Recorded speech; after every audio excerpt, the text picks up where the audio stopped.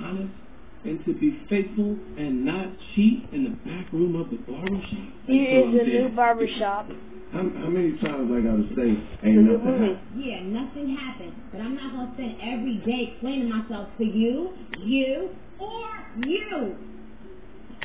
Look, I'm just saying hypothetically, okay? It is shameful society always blames the other woman when they should be blaming Listen, doofus, monogamy doesn't run in our DNA. You understand that? What? You can't defy science.